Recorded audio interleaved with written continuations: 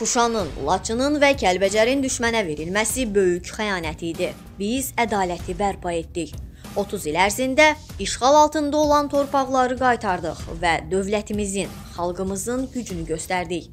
Müharibənin ilk günündən üstünlük bizim tərəfimizdə idi. Düşmən demək olar ki, panikaya, isterikaya qapılmışdı. Ermənistan ordusunda onların özlərinin də etirafına görə 10 mindən çox fərari olmuşdu. İndi Ermənistan dövləti bilmir ki, bu fərariləri necə mühakimə etsin. Çünki bu da böyük problemlərə gətirib çıxara bilər. Azərbaycan ordusunda bir nəfər də fərari olmamışdı. Halbuki 1-ci Qarabağ müharibəsində fərarilər olub.